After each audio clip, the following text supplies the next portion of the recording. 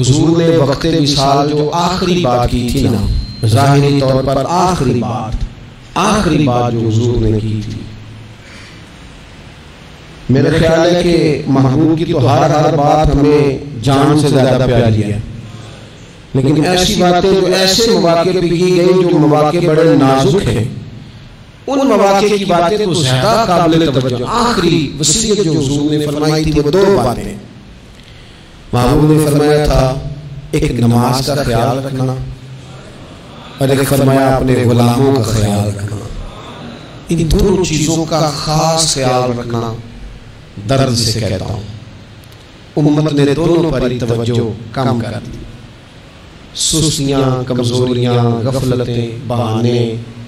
بلا وجہ کی ہیلو حجت نماز کے معاملے میں موسم گرمی کا آ جائے یا سردی کا۔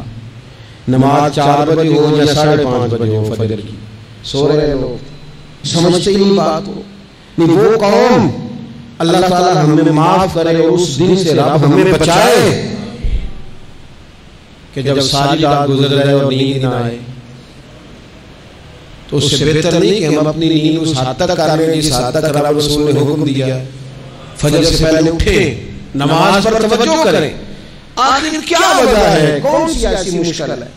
فجر میں آنکھ نہیں کھلتی۔ کیا معاملہ ہے؟ کیا معاملہ اٹھے بڑی آسانیاں ہیں نماز پر غور کریں توجہ کریں اور اپنے غلاموں کا ملازمین کا خدمت گزاروں کا خیال کریں۔ ان کی چھوٹی چھوٹی چاہتوں کا خیال کریں۔ آپ کا غلام کبھی غلام نہ سمجھے آپ کا خادم نوکر کبھی اپنے آپ کو نوکر نہ سمجھے اعزاز سمجھے اپنے لیے۔ وہ سمجھے کہ یہاں میرے لیے گنجائش ہے یہاں میرے لیے اب تو حال یہ ہو گیا ہے کہ غصہ کسی اور کا نکل بیچارے ملازم میں جاتا ہے۔ وہ ان کی جگہ پہ تو پانی چڑھ نہیں سکتا۔ لہذا غریب آدمی ہاتھ آیا ہوا ہے۔